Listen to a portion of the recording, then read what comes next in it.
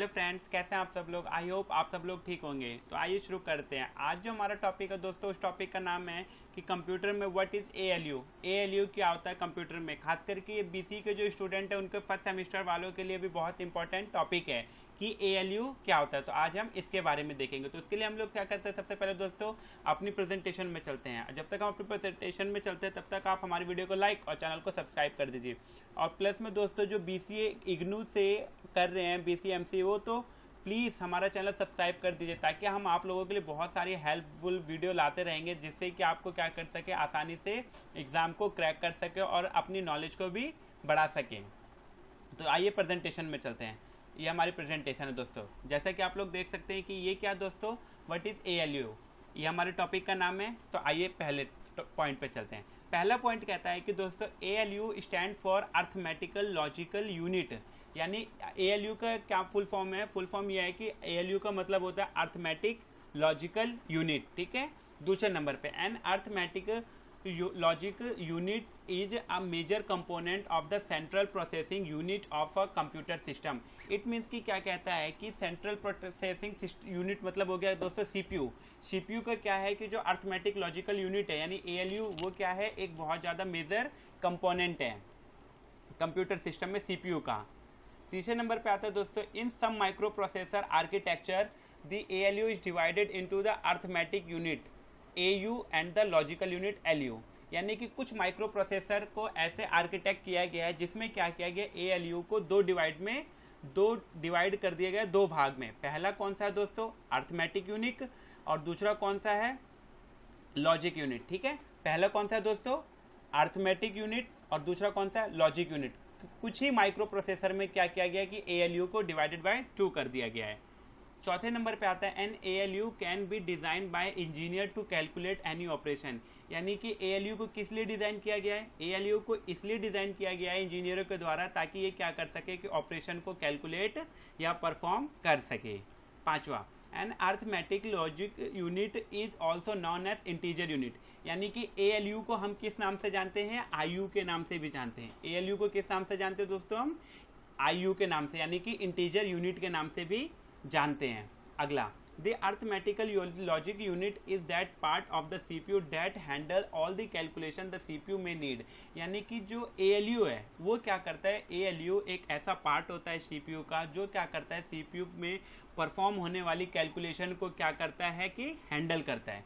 यानी सीपीयू में जो भी कैलकुलेशन होने वाली है, उसको एएलयू क्या करता है? हैंडल करता है। अगला ALU routinely perform the following operation ALU क्या है? कि परफॉर्म करता है फॉलोइंग ऑपरेशंस को। जैसे कि लॉजिकल ऑपरेशन जैसे कि हो गया these include and or not XOR NOR and ETC यानी कि ये सारे के सारे क्या होते हैं? लॉजिकल ऑपरेटर लॉजिकल ऑपरेटर को कैसे परफॉर्म कराता है ये? एंड हो गया और हो गया नॉट हो गया ज़ोर एक्सो आर ज़ोर हो गया एनो आर नॉर हो गया एन एंड इन एंड हो गया। ठीक है, इन ऑपरेशंस को परफॉर्म कराता है।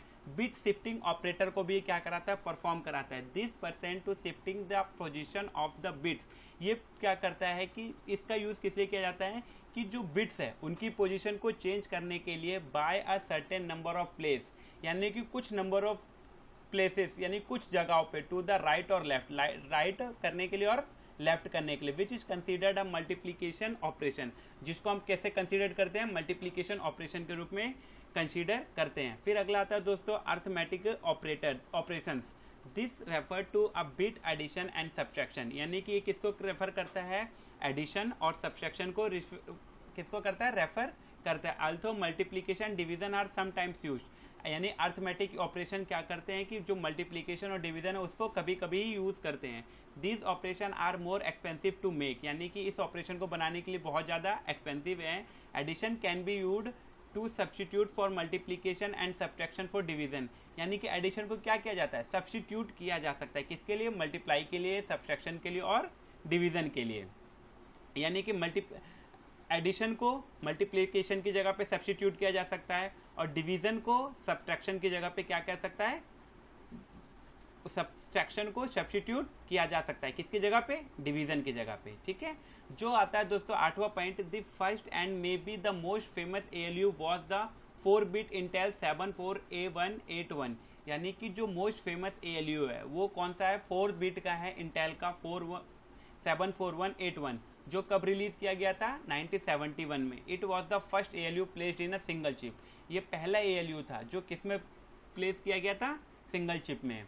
नाइन्थ क्या है कि simple A L U have no divide और मल्टीप्लाई ऑपरेशन यानी जो सिंपल ए एल यू होते हैं, उनका क्या होता है कि जो डिवाइड और मल्टीप्लाई के ऑपरेशन नहीं होते। For these A L Us to perform these operation they are use to add and subtract option यानी कि क्या कहता है कि जो ए एल यू है, वो किस पे डिवाइड का और मल्टीप्लाई के ऑपरेशन पे परफॉर्म नहीं करते। जो ए एल यू होते हैं, वो बेसिकली किस पे ऐड और सब्ट्रैक्शन ऑपरेशन पे ही क्या करते हैं दोस्तों? परफॉर्म करते हैं। दसवा the logic unit perform logical operation जो लॉजिक यूनिट होते हैं, वो क्या करते हैं? लॉजिकल ऑपरेशन को ही परफॉर्म करते हैं। जैसे कि एंड हो गया और हो गया एंड नॉट हो गया। And numeric test like checking if a number is negative और ये क्या करते हैं कि नंबर को भी चेक करते हैं कि नंबर नंबर कहीं ऐसा तो नहीं कि नेगेटिव है। तो ए का काम ये भी होता है। तो वीडियो आपको कैसी लगी दोस्तों, हमें कमेंट करके ज़रूर बताएँ। वीडियो को लाइक और चैनल को सब्सक्राइब कर दीजिए। और बीसीए वाले स्टूडेंट से तो बहुत ज़्यादा रिक्वेस्ट है कि आप हमारे चैनल को सब्सक्राइब कर दीजिए ताकि हम आपके लिए आने वाले टाइम पे सारी की सारी वीडियोस अब हमारी क्या होंगी? कंप्यूटर बेस्ड होंगी और जो कि मोस्ट प्रॉब्ली किससे रेफर करती होंगी? B C S fifty one से रेफर करेगी। इट मीन्स कंप्यूटर सब्जेक्ट से रेफर करेगी। वीडियो देखने के लिए थैंक यू सो मच दोस्तों।